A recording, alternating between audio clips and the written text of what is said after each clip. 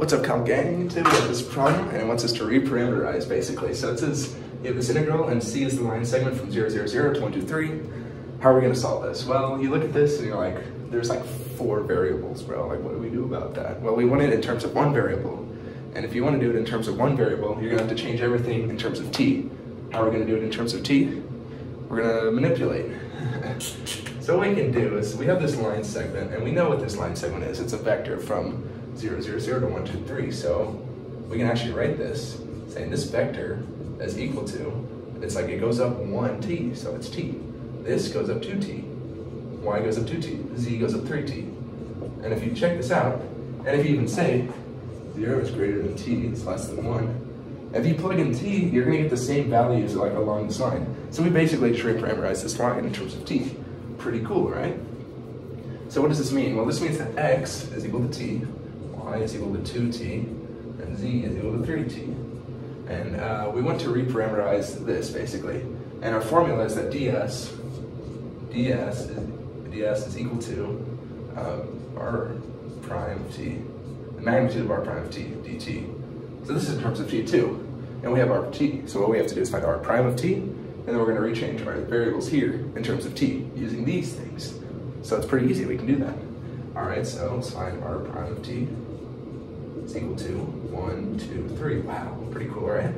Now the magnitude of r prime of t is equal to the square root of 1 squared plus 2 squared plus 3 squared, which is equal to the square root of 14. So now we have all we need, actually. Let's set up the integral.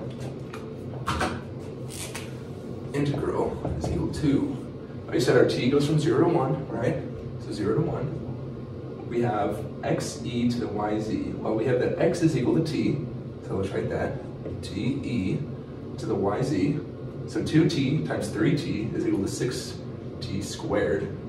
ds becomes the magnitude, which is square root of 14 dt. And that's our integral. Now to solve this, we're going to need to do a u sub, obviously. Not that scary, we can do it. So let me do some erasing, and uh, we can solve this now. Oops. That's 0 to 1. All right. All right, let's solve this. I is equal to 0 to 1. Let's do u sub. u is equal to 6t to the squared du is equal to 12t dt, or 1 over 12 du is equal to t dt.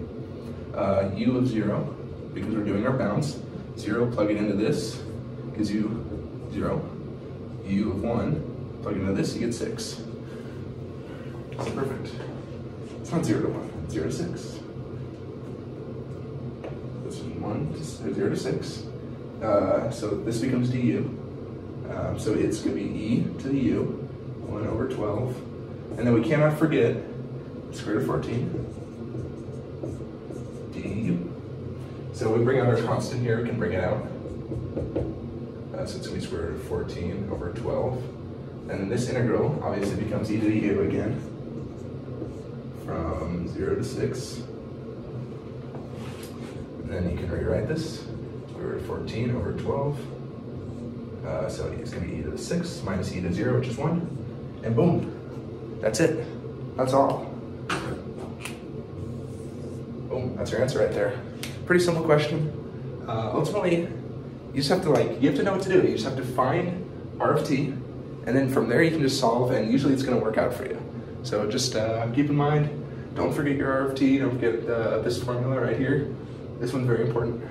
And uh, yeah, so good luck on your calc homework, guys. Keep it up.